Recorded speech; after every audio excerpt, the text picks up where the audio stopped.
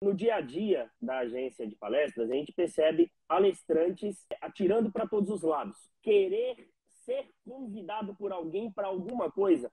Por exemplo, toda hora você fala para mim assim, pô, Lucas, marca aí um churrasco pra gente.